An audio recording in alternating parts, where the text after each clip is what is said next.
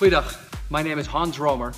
I am a USPTA Master Professional and also a PTR 5A level certified coach. And I'm certified by the Dutch Tennis Federation A, B, and C. I have been coaching for 25 plus years and it all started back in the Netherlands where I attended the CIOS Sports College where I majored in physical education. Tennis has taken me all over the world.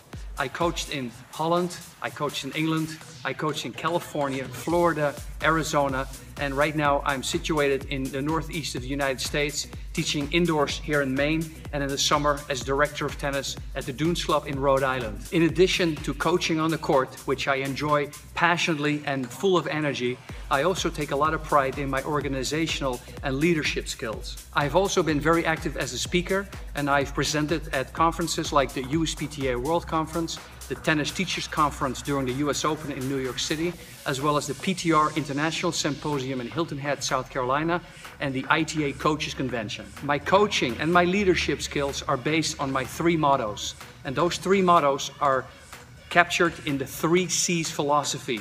The number one C stands for communication, the number two stands for creativity, and last but not least, the third C stands for commitment. Thank you for watching this short video. I really appreciate the time you took to watch this. I look forward to meeting you in person.